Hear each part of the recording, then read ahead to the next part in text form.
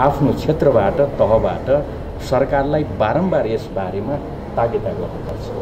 हामी आफ्नो ठाउँमा भूमिका खेलिरहेका छौँ खेल्छौँ तर देशमा निर्वाचन समयमा सम्पन्न गर्ने आधिकारिक निकाय र सबैले विश्वास गरेको सबैले हेरेको निकाय तपाईँहरू हो।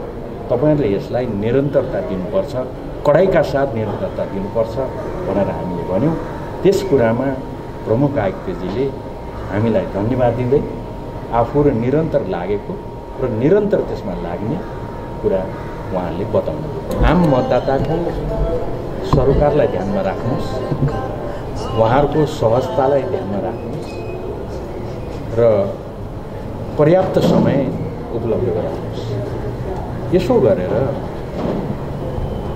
मतदाता नावलीलाई अध्यावधि गर्न काम गर्नुहोस् मतदाता भर्सक कोही पनि नछुट्यो सबैका सबै मतदाताहरूले निर्वाचनमा भाग लिन सक्नुहुन्छ। यो व्यवस्था गर्नेतर्फ निर्वाचन आयोगको ध्यान आकर्षण गर्छौँ।